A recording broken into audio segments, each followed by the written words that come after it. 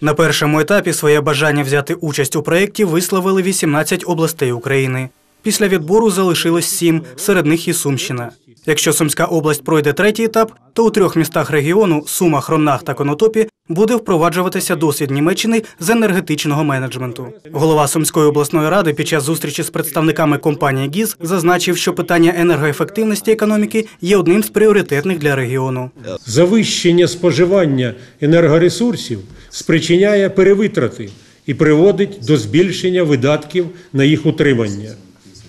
При цьому досягнення економії енергоспоживання без порушення оптимальних температурних режимів можливо лише за рахунок впровадження ряду ефективних енергозберігаючих заходів та налагодження чіткої системи моніторингу.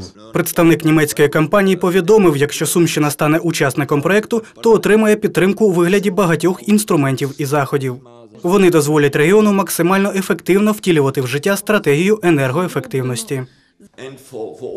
Впродовж 20 років у нас накопичився досвід, вироблені певні інструменти, які об'єднані під поняттям енергоменеджменту. І от саме своїм досвідом, своїми напрацюваннями ми б хотіли поділитися з українськими містами у вирішенні тих самих проблем, які свого часу доводилося долати Німеччині.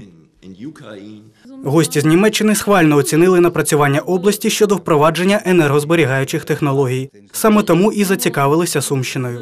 На їх переконання, поєднання європейського досвіду та цілеспрямованості обласної влади дозволить отримати позитивні результати, які у свою чергу поширяться всією Україною.